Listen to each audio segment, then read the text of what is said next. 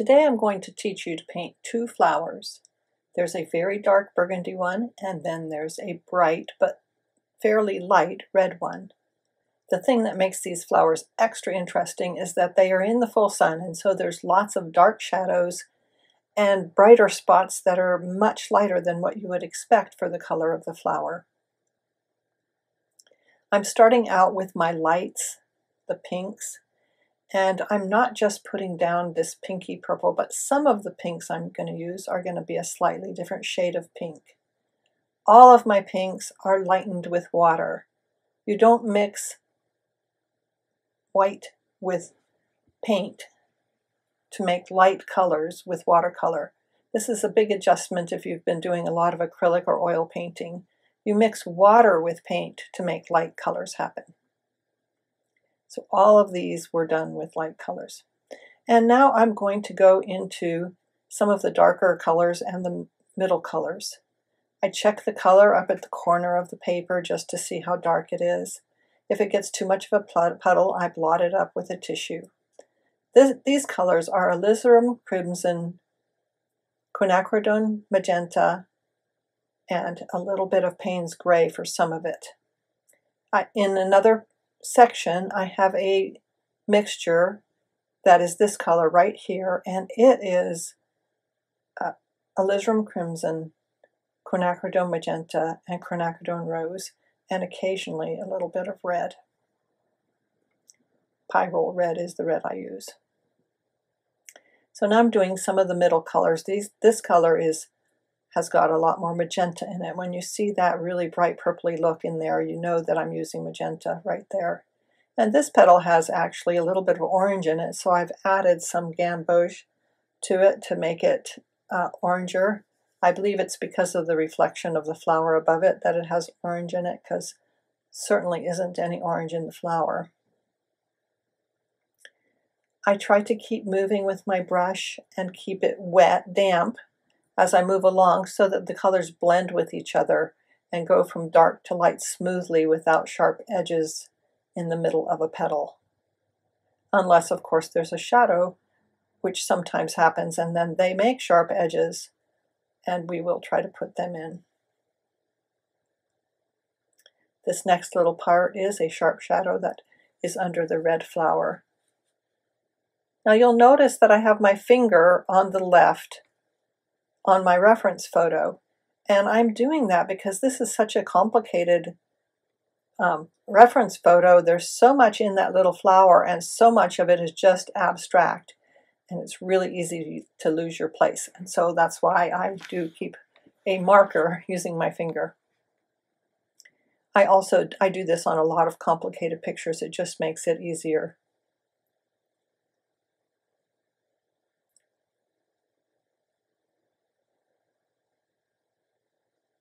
Uh, here are some mid-tones. They're, they're light, but not quite as light as those really pale parts.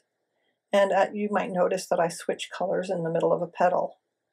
Now you wouldn't have to do that. If you're if you haven't painted a lot and you want to do something this complicated, then you don't have to switch from a peachy pink to a purpley pink. You can just choose pink and add the darker shades to make it dark and it'll still be pretty. It won't be quite as much like nature, but it's a good place to start.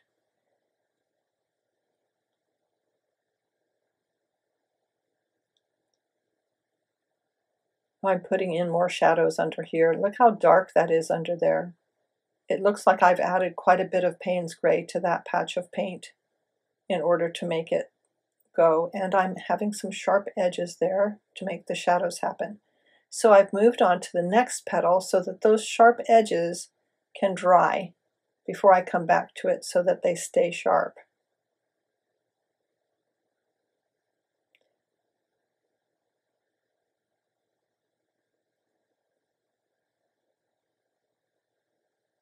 That's why I move around so much, is so that the different parts that I'm working on can dry before I move on to a new part.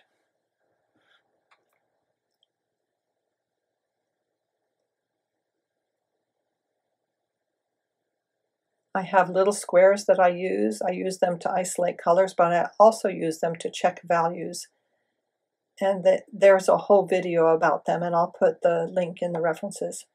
So now I'm just painting that whole thing pink just to make it easier rather than painting the little individual parts. And when it's dry, I'll come back and put in the detail. Now there I go with that petal and the shadow stayed there because it was already dry.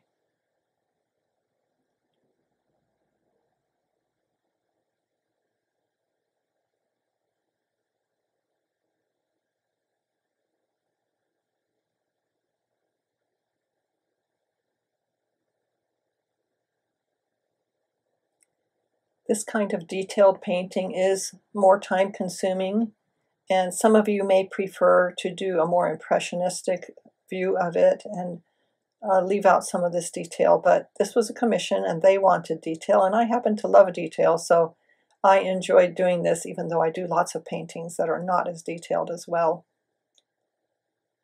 Many of you have been thinking about what your style is, and I just don't think it's worth stressing about that, especially when you're a beginner, because your style is developing. And as you paint and try different things, your style will emerge from that. And sometimes two styles. I know several artists that have more than one style.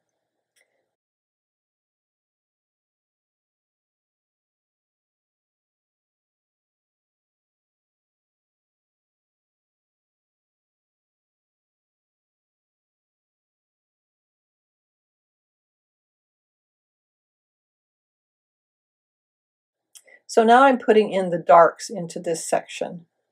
And they're quite dark. And then when they're dry, I'll go back in and put in the medium tones, which is what I'm doing now. So that paint wasn't as drippy wet and it dried fairly quickly. So and then this is what is getting all the little petal look in there, in that part. One of the complications of doing pinks is that the paper is not quite white, and so the, the color of your paint changes just a little bit. In the end, the color doesn't matter nearly as much as whether you have your values right. And there might be a color that you just really want because you love that color. But as far as your overall painting goes, it really won't matter. If you have your values right, your painting will look great. This goes whether you have a loose painting or a very tight to detailed painting like this one. Either way, if you get your values right, the painting will work.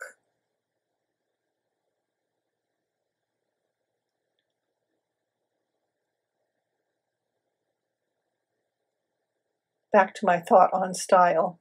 So Stan Miller does portraits that have a lot of color in them. They have funny colors in them for a face. And then on the other hand, and he's known for his portraits, on the other hand, he does these very detailed, realistic, intricate sceneries. And he's also known for them. So he has two different looks. They're both his style, and he's known for both of them. I have emerged with two styles over the years. I have this one where it's very tight,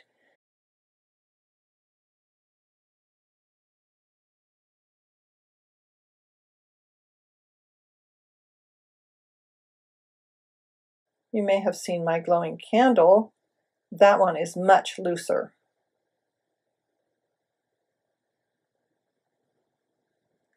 So here I'm getting a lot of the darks in.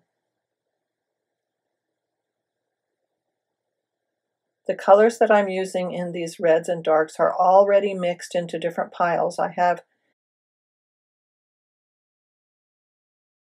I have a pile with alizarin crimson and quinacridone magenta. I have a pile with magenta and quinacridone rose. And then I have a pile with the alizarin and Payne's gray. And a pile, and some of that might have some magenta too. So there's these little piles on my palette already mixed. So I'm going back into that paint, often rinsing my brush in between and drying it on my sponge but going back to those piles without having to try to remix every little bit of paint here that I'm using with all these variances of color.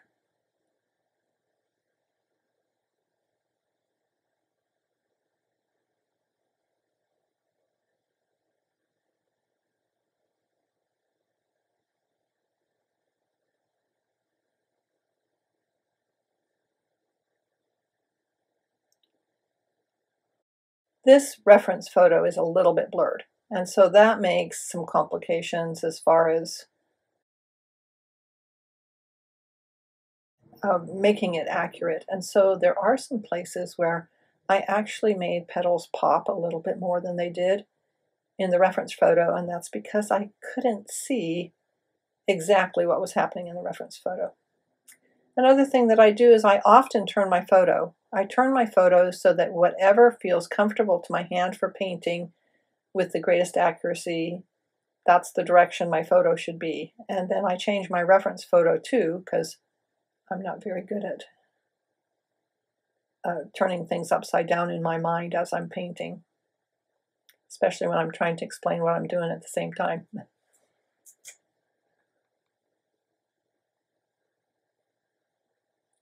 This part of the flower is kind of fun because it's all these bright magenta and even some bright red, but lots of alizarin in there.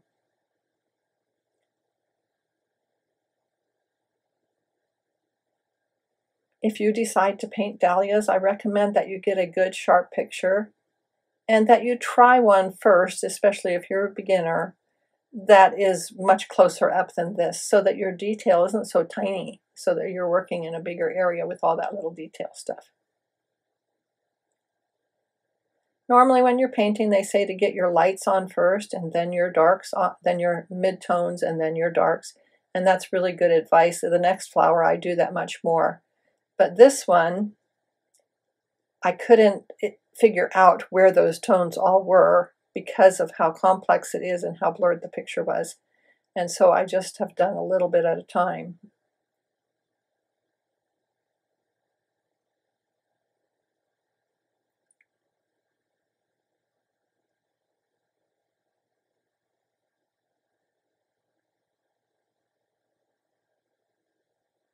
Look how dark that gets in there between those.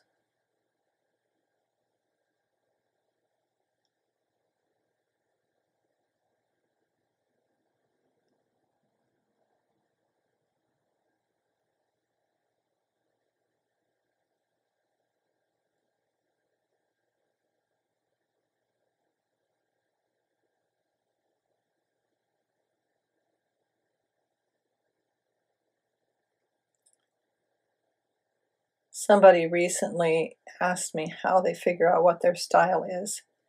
And I recommend that beginners try a lot of things and let their style emerge and don't really stress over it. People that stress over it often stop painting because they're so worried about what style they should be painting. Just paint and let it come to you. Now I'm putting more detail in and more shadows. See how those petals pop front when a shadow goes behind them.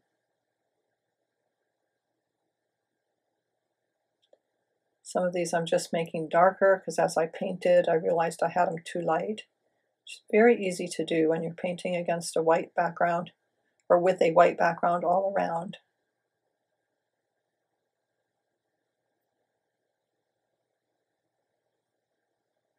You've probably noticed that one white petal down there. I'll get to it. I won't leave it like that. It definitely is kind of out of place. Just a little bit more detail with some midtones. And then finally I fix that.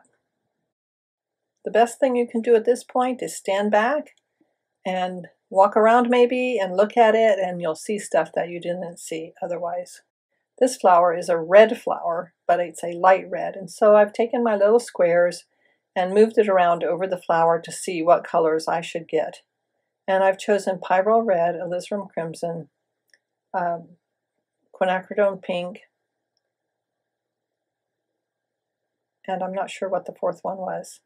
Oh, Pyrrole, Scarlet Pyrrole was the fourth one.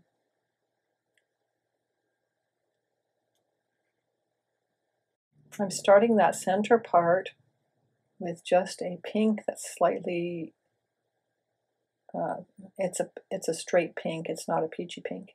And then on this part, I've added a little bit of the Scarlet Pyrrole and made it slightly peachier. Now, if you use any Scarlet Pyrrole, you have to be really careful with it. It is such a vibrant color that it takes a lot of water to water it down to the place where it's a pastel. I'm just filling in all of the background petals with these colors.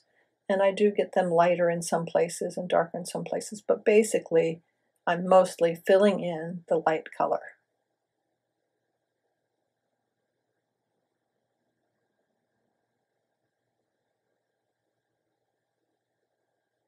In order to have shadows and the, the feeling of sunlight hitting something, you have to have lights, light areas. And you also have to have some distinct lines. So now I'm going in with my midtones and I'm using the squares to see if I have those colors right. Now the edge of this flower might look funny to you on the left side and that's because I used a different drawing. I actually put a whole bunch of different drawings together to make this, or different photo references.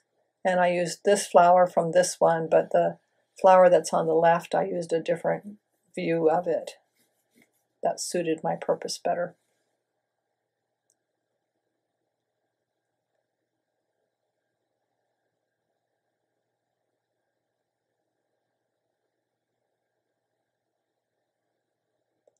I've got the midtones in that part and now I'm moving on to put midtones in this part. The midtones is made from quinacridone rose and scarlet pyrrole. Nope, sorry, quinacridone rose and pyrrole red.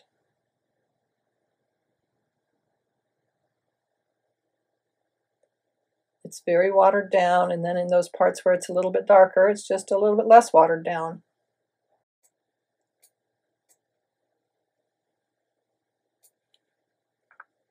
On this part, I'm adding the medium tones, but I'm just not adding straight medium tones. As you can see, I'm blending it so that some areas are lighter and some areas are darker. There's a pretty cool story behind this painting. The man that commissioned me to do it came from a family that raised dahlias, and they have had some of these dahlias in their family for 200 years. It's quite astonishing. I don't know who the person in the next generation is going to be that's going to take it over, but I sure hope somebody steps up and does. It's a lot of work to do dahlias because in the north where these grow, you have to dig them up every winter.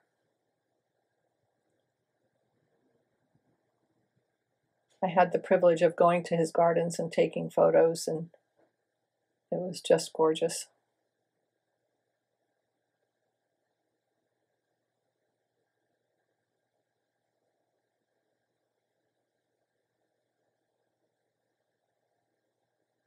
You might notice me changing brushes from time to time, and usually that's because I want one with a better point.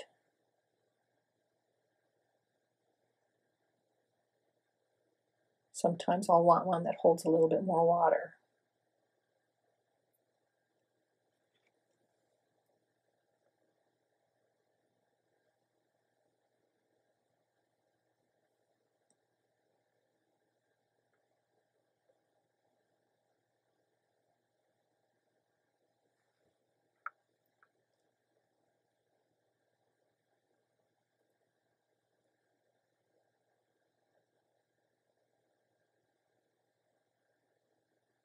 Again, I'm holding my finger on my reference photo because I lose my place if I don't. It takes a lot of the stress out of painting if you can automatically go back to a certain spot without having to search for it each time.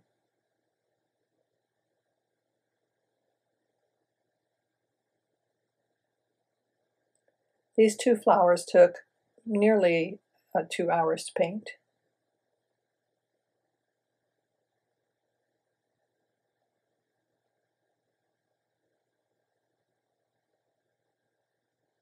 So you can see that they are very detailed.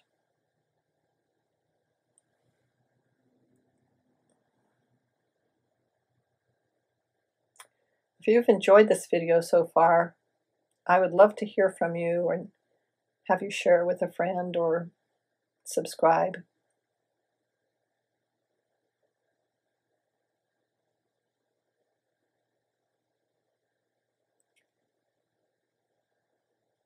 More midtones. Now you can see that the midtones that I'm putting in, they are all midtones, but they're not all the same as each other. I have some of them darker and some of them lighter. So I'm doing some of the shading with the midtones, whereas the light tone pretty much just put it all over. And I didn't really do shading with it.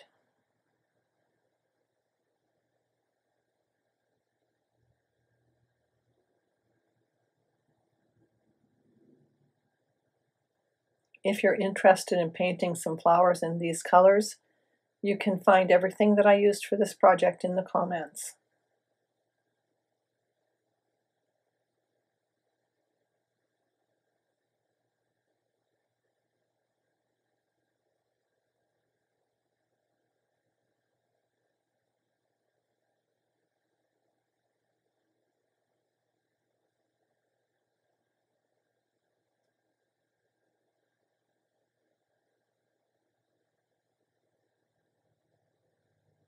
And now I'm going to put in the darker tones.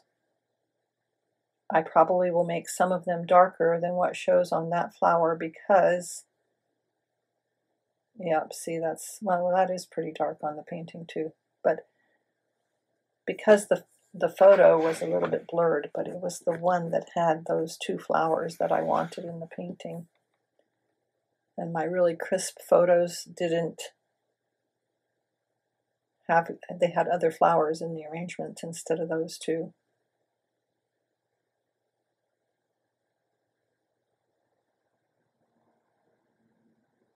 So as you put these darker areas in, it becomes more 3D looking. And it changes everything. A lot of times the darkest color in a painting isn't even very pretty, and sometimes we hesitate to put it because we see this pretty pink flower or this pretty red flower and we don't really want to have a brownish burgundyish color in it because it seems like the wrong color. But without those darker colors, you don't see the beauty of the lighter colors and the flowers will look flat.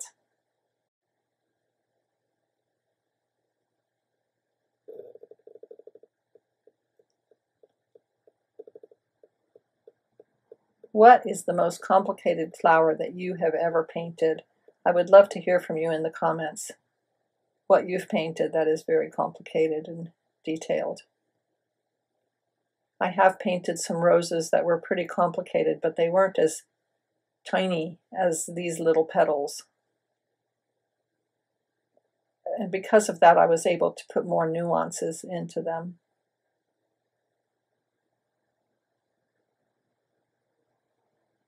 Let's see how the petals are getting separated by the details that's being added, by the darks. And it's suddenly not looking so flat anymore.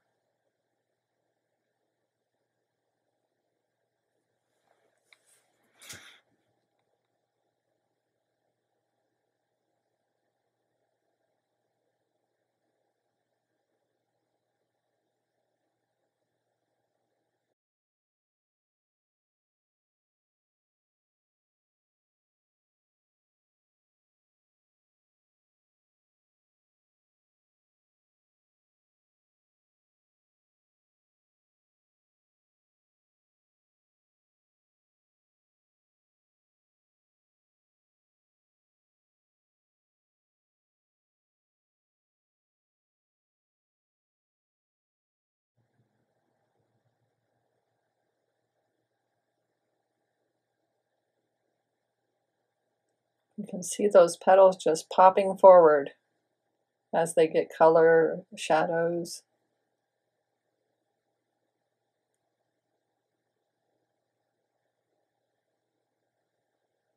Things that didn't even show before.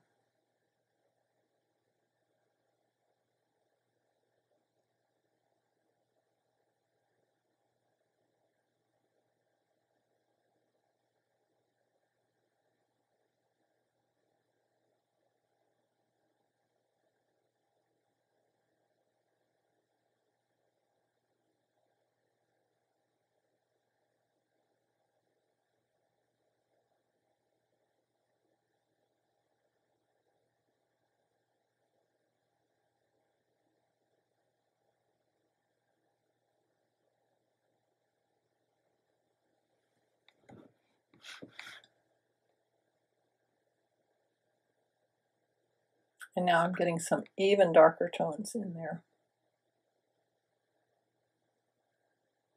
And it will make it look more 3D than it does.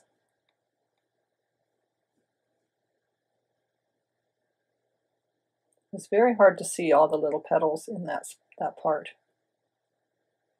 If I ever paint another dahlia, I would like to have a better photo reference.